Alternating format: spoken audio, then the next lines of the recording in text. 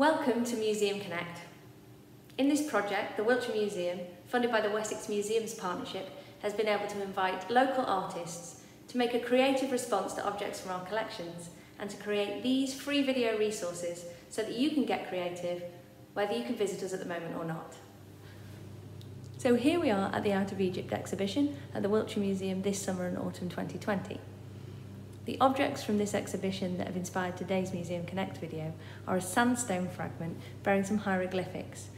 It shows the cartouche of one of the Greek pharaohs, the Ptolemites, and is from the Temple of Karnak at Luxor.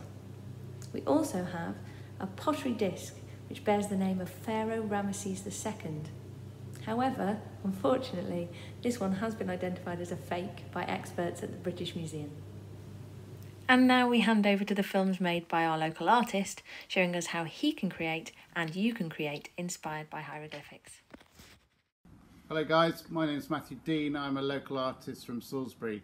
Uh, I have been asked very kindly by the Wiltshire Museum to come in and produce a piece of work inspired by the hieroglyphic alphabet behind me. I don't know if you can see that or not. It's a bit of a blurred image. Uh, a lot of uh, what I do is abstract artwork and um, I've been asked to uh, produce a piece of work um, primarily in reaction to the exhibition they've got going on at the moment which all the details will be at the bottom there. So um, do go online and take a look. Uh, there is also a little exercise at the end of this film for younger kids to take uh, part in. Uh, it shows you how to make your own hieroglyphic using sand. So um, do have a look and please do give us your comments on the, the uh, work that's been shown in this video.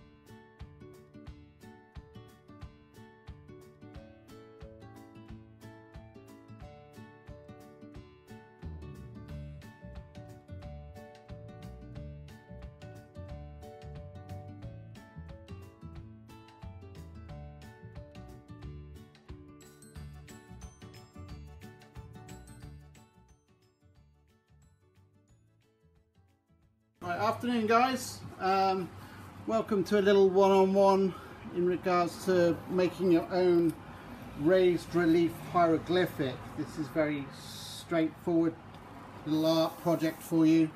Um, first of all, you need a bit of card. You're going to need some string, need some PVA, and a brush. Um, but first of all, you need to find an image from the hieroglyphic alphabet that you can translate onto this. I've managed to get PVA absolutely everywhere. Uh, I have chosen a feather. So the first thing you need to do is draw it out. So this is this was actually used in the, the main piece of artwork I did. So you just get an adult or some or uh, to help you out with this, make it life a bit easier. So you're going to draw out your feather, okay? Very simple. Oh, you do need a pair of scissors for this as well. So, and a brush. A couple of things you might need. Make sure you get yourself a bit more organised than I am. So what you're going to do is you're going to use a brush and your PVA and you're going to paint onto the card. Okay. So over the drawing you've done. Okay. So you're going to stick it out now PVA goes off in about five ten minutes so you've got time to do this. So be quite liberal with it. You know put lots on. Don't be don't be worried um, about making a mess with this. This is the whole idea is by making a mess you can the PVA will dry clear so you, it will become transparent. Okay so we're going to use some of this.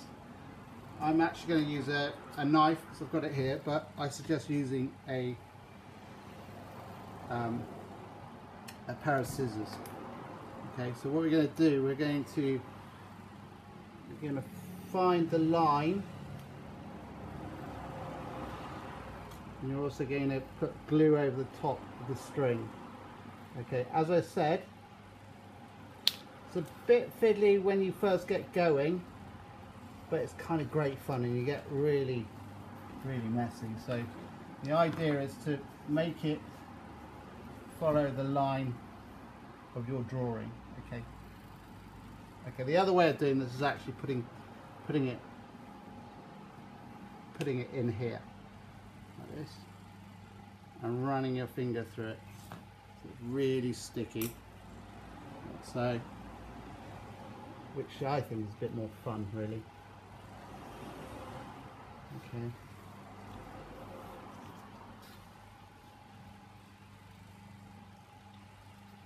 Alright, can you see that? Okay, so I'm just going to speed everything up a bit on this front, so I'm not going to talk for a while.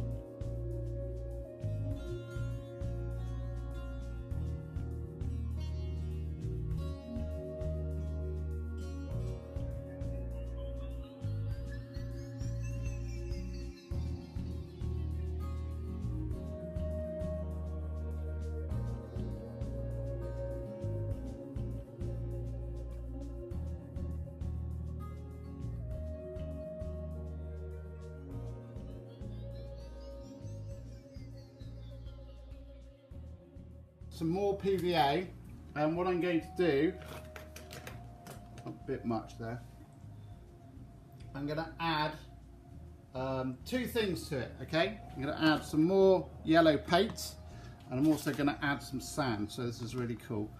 Um, and what this is going to do, this is just try and find some fine stuff, what this is going to do is going to add a really cool effect okay and we're going to kind of make it more textured by adding more paint into it and we're going to paint over the yellow uh, to give a kind of a bit more of a sandy effect so yellow paint. Mm. Okay, so just gonna blob of that in. I'm gonna put a bit more sand in there. Okay. And we're just gonna, gonna add that all together.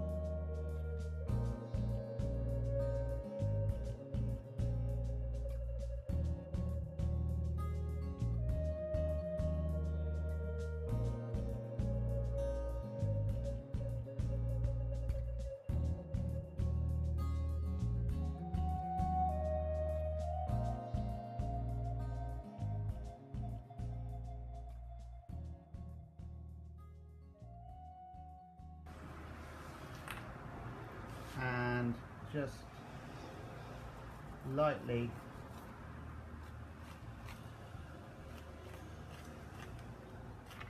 go over the string. Black marker just brings it out and it starts looking more like a hieroglyph.